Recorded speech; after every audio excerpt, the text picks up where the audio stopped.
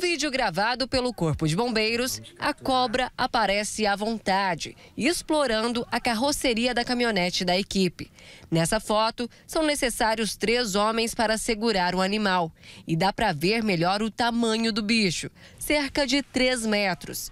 A cobra é da espécie Piton, ou piton, como também é popularmente chamada.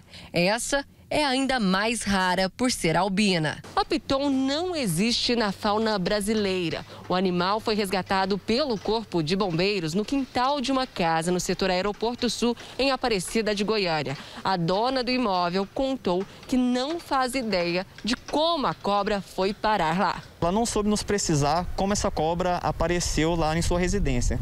Porém, nós sabemos que é uma cobra que não pertence ao nosso bioma cerrado. Então, possivelmente, esse animal ele estava sendo criado por alguém próximo ali e não se sabe como, mas acabou adentrando a residência da solicitante. A Piton é da família das jiboias. A cobra chama a atenção pelo tamanho. Pode passar dos 12 metros.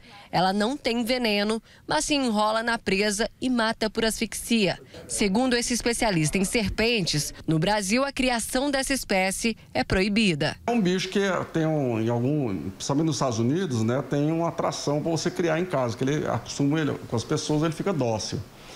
E no Brasil, teve uma época que foi liberado e depois fecharam porque o pessoal estava soltando, criava, não queria criar mais e jogava na natureza. Então estava introduzindo um animal na natureza. A cobra foi levada para o centro de triagem de animais silvestres em Goiânia, já que, por lei, ela não pode ser solta na natureza.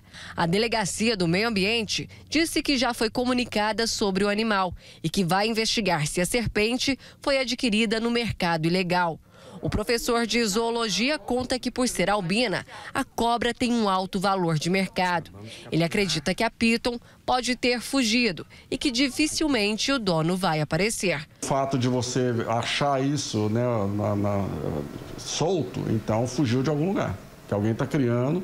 Se fosse legal, alguém já tinha reclamado e levar o animal de volta. Você tem uma documentação, que é basicamente uma, uma, uma declaração né, de, de posse autorizada pelos órgãos ambientais, mas eu não sei se é, se é, o caso, né? Provavelmente o dono não vai aparecer, né? Provavelmente não, porque se ele aparece, ele se denuncia, né? Eles vão querer saber onde, onde ele conseguiu esse animal, né?